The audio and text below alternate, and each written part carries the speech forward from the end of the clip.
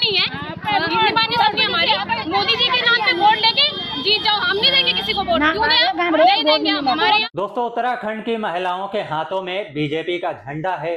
गले में बीजेपी का पट्टा है और दिल में बीजेपी के लिए नफरत है और मुँह पे ये नारा है कि इस बार एक भी वोट बीजेपी को नहीं दिया जाएगा। दरअसल ऐसा क्यों हो रहा है और ये महिलाएँ किस लिए गुस्से में है ये मैं आपको दिखाना चाहता हूँ।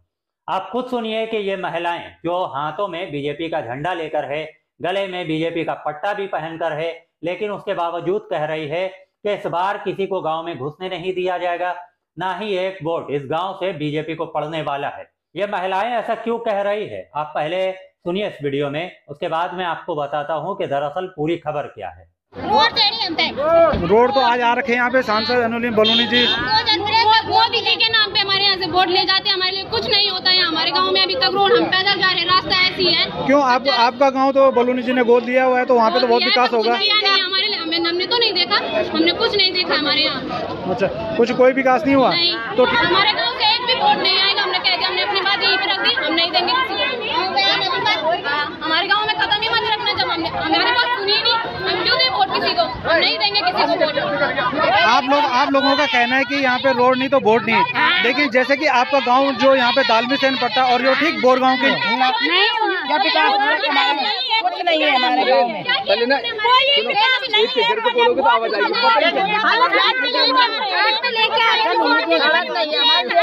घाट में लेके जाते हैं या हम वहीं पर कम अब उनके लिए कमरा ले लेते हैं। और है। कुछ भी सुविधा नहीं है। आज इनकी पहली बार यहाँ पे सकल देखी हमने ठीक है? दो मिनट में हमारी बात नहीं सुने सीधे चले गए। हम हम कुछ नहीं है क्या? यहाँ पौधे रखा हमारे वोट नहीं है।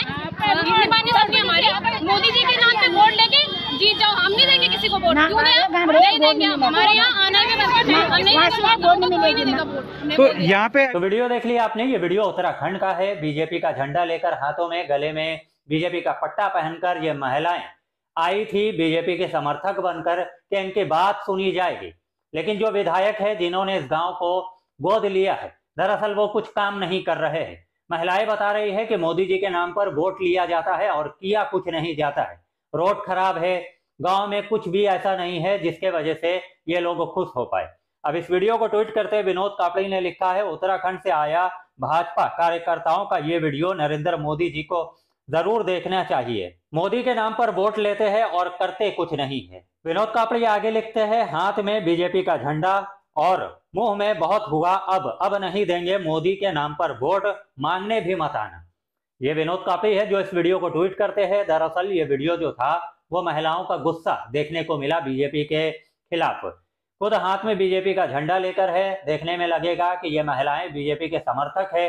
लेकिन जब लोग वीडियो देखेंगे और वीडियो में महिलाएँ जो कुछ बता रही है, जब उसे सुनेंगे तो पता चलेगा यहाँ पे मामला तो कुछ और है। मामला बिल्कुल उसका उल्टा है, जो वीडियो में आपने देखा है। लेकिन आप अपनी राय इस खबर के बारे में कमेंट बॉक्स में ज़रूर दीजिए। एक तरफ़ बीजेपी 400 पार का नारा दे रही, दूसरी तरफ़ लोग बता रहे कि हम एक भी वोट बीजेपी को देने वाले नहीं है।